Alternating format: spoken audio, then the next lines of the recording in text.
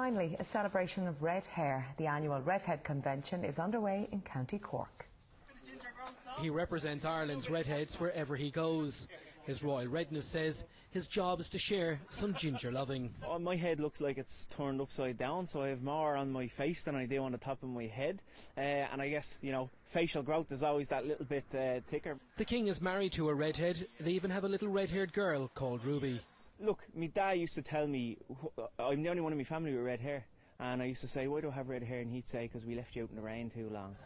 Crosshaven becomes known as Redhaven during the festival, which celebrates all things foxy. Around the world, especially, you know, you get loads of notice when you're redhead when you travel and stuff. So, you know, I think it's fantastic to celebrate it.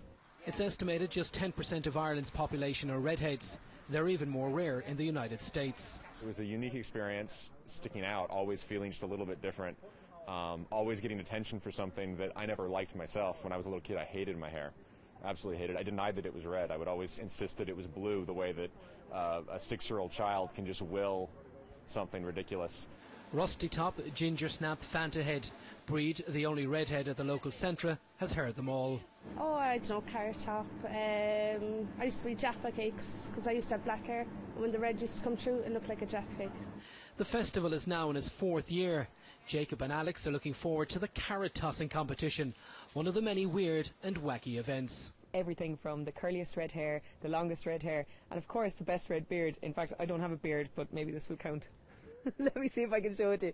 This is actually a hand knitted ginger beard made in Crosshaven, believe it or not. Thousands are expected to attend, but be aware the king is quick to spot a fake redhead. Paul Byrne, the 530 Crosshaven, County Cork.